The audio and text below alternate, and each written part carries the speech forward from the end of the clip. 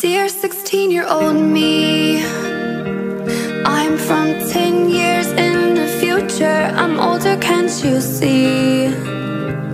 I've got wrinkles on my fingers. You'll regret the Hollywood life.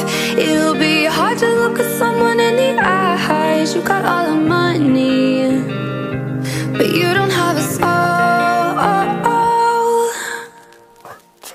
You'll have paychecks, you'll have back pain, won't have safe sex, but you'll have paper rain. You'll have heartburns, but not the type where you get.